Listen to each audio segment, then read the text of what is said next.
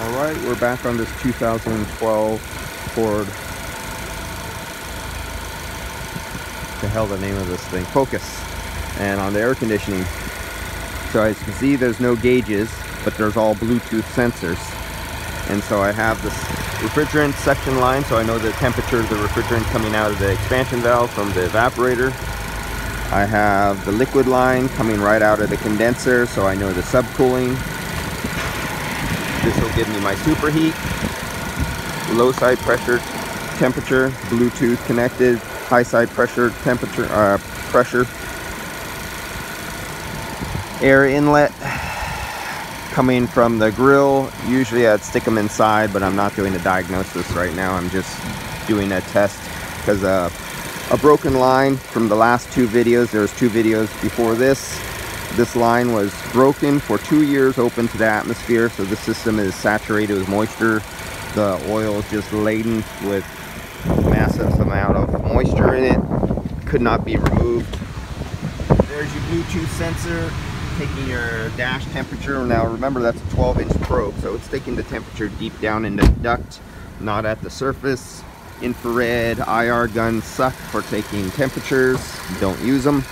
There is a way to use them but you have to be explained how to use them correctly otherwise you'll get some really cold temperatures that are not real.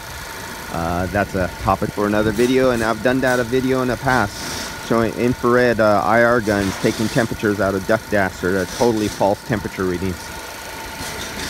Um, so here we go. We have a cold morning. Since I started this earlier this morning and was sitting on a vacuum pump while I went to another job the temperature has risen from the 50s. We're now in the 61 degree area right now. And this is what it looks like. Now a snapshot of this will go to my customer's invoice and it'll go into our documents. Uh, if there's any discrepancy of what a customer says, well, it wasn't operating when I left your shop, uh, or, you know, it wasn't operating well, you actually have live readings of all the temperatures or pressures that will be snapshot and go to a report that will actually go to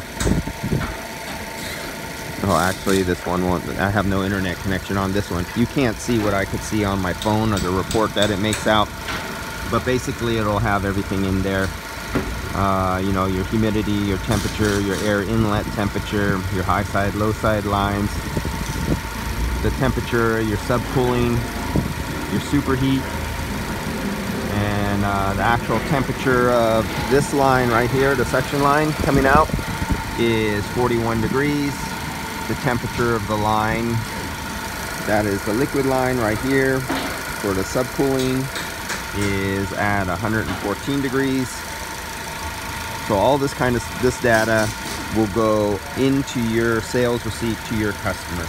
And if it came in running you could perform the test when a customer comes in when they complain about a cooling problem or they just want a service.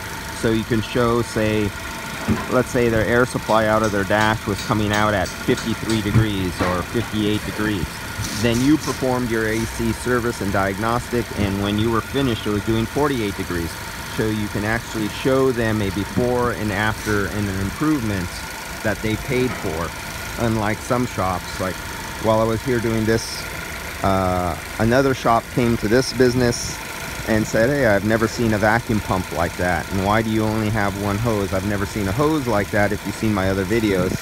So the shop owner was asking uh, what's that gauge that I had here? Remember I had the micron gauge hooked up right here and I told him it's a micron gauge and of course I got the answer, what's a micron? and uh, he says they do AC at their place. Uh, and then we're talking a little bit and uh, he says, oh, it only takes like five minutes. You just bring it down to like 29 and then you just fill it up. Well, right there you know you're dealing with someone you would not want to take your car to. 29 inches of mercury means absolutely nothing under a vacuum. You want to, and especially if you're just bringing it there, stopping and filling it up, that is definitely a shop that you don't want because any contaminants or any moisture or air left in your system will still be there after they're done if they just finished opening it up and servicing and changing a part and you just pull the vacuum to 29 and then fill that's where problems start they won't happen right away. It's kind of a long ticking time bomb kind of thing. So that's it. Just showing you um, a alternative way of charging a system and documenting your before and after. So you have proof to your customer.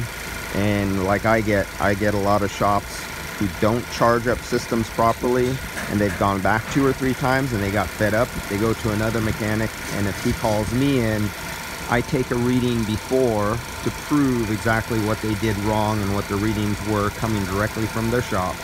After they were charged up I usually do, I do a um, refrigerant analyze test and I actually analyze the refrigerant with my refrigerant analyzer and usually I find it contaminated with high percentage of air or maybe another gas and then I recover it out and weigh it as it covers out recovers out and usually I'll find it a couple ounces too low or a couple ounces overcharged which will cause performance problems. And uh, but they always say oh but I have this $5,000 machine and it does everything. I go well no not all the time. It doesn't do everything. All right that's it guys. See you on the next one. Oh yeah there's a lot of glare here. Just realized that. The problem is I think when I get my next tablet I'll get one with that the anti-glare if I can because this one really sucks when it comes to uh, being outside. All right see you guys